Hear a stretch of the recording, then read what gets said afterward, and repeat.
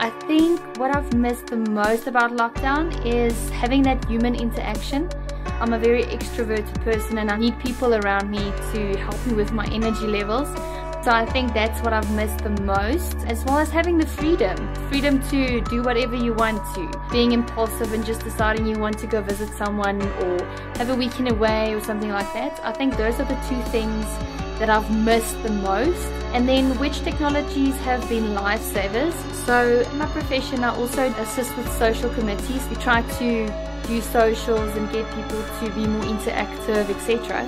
With regards to technologies, I think Microsoft Teams has really been a lifesaver. It's easy to be in contact with anyone in the world. So we have regional offices, Kenya, Tanzania, etc. It's made it a bit easier to interact with those employees as well. Not just the ones that you always see in the office, but also have those in Cape Town, Durban, etc.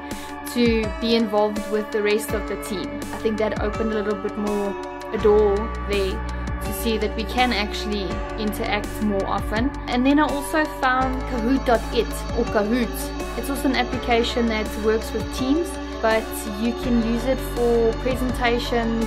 We've actually used it for one of our socials to do like a trivia game where there's different trivia you can actually uh, do your own quiz and your own trivia games i think those two were my lifesavers everyone was in the space of you know you're not doing your work if you're not at the office. And I think this pandemic helped open eyes to show that we can work from home. And the big thing is communication. So you need to communicate what you're doing. If you're not communicating, you're not going to be able to get everything done. And I think there's a lot of the teams, especially that I've seen in our company, that communication has improved a lot because they don't have a choice not to communicate. They need to communicate to be able to do their work.